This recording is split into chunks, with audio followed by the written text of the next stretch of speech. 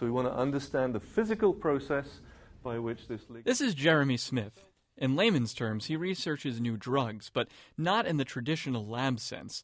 Jeremy uses a supercomputer called Jaguar, a computer that is 18,000 times faster than the fastest PC on the market.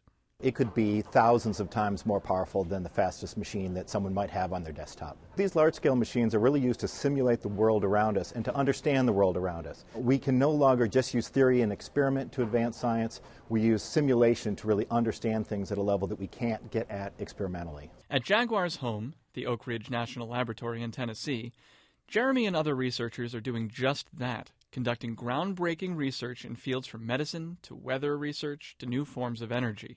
We're working on nuclear energy. About 20% of the electrical power in this country comes from nuclear energy.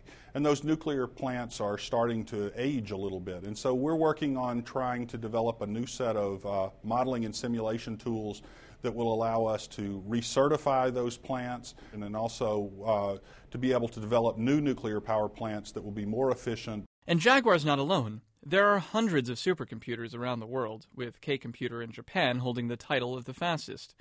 But that may change over the next few months after an upgrade to Jaguar is completed. We have Jaguar, which is the Department of Energy and the United States' most powerful computer for open science computing.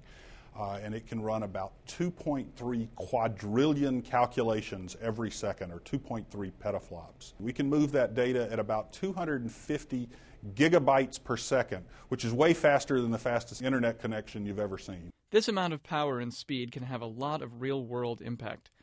Research and experiments that would have taken months or years can now be accomplished in just a few days. By screening millions of drugs with millions of proteins, we hope we'll save them a lot of time that they would have spent doing expensive uh, experimental text testing. We'll not only be able to find out possible targets for these molecules, but all the side effects as well, and in a personalized way.